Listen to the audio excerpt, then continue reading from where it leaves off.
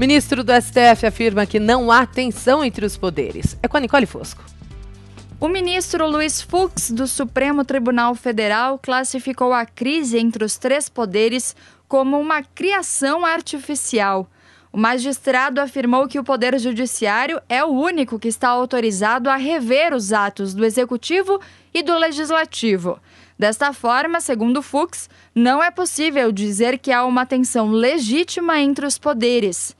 Ele deu as declarações em uma videoconferência realizada pelos jornais Valor Econômico e O Globo. Fazer disso uma crise institucional é exatamente criar algo artificial a pretexto de outros objetivos, que não os objetivos de obedecer aos princípios democráticos, ao princípio republicano e à obediência à Constituição Federal e às leis.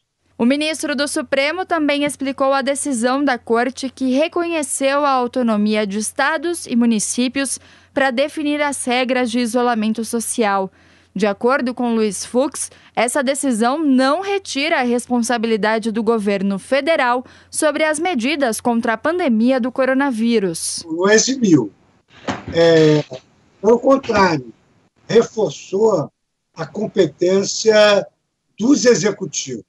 O Supremo não exonerou o Executivo Federal das suas incumbências, porque a Constituição prevê que, nos casos de calamidade, as normas federais gerais devem existir. Luiz Fux disse ainda que o Supremo Tribunal Federal tem obrigação de evitar que as pessoas que são anti-ciência violem um dos direitos fundamentais de todo cidadão, que é o da saúde.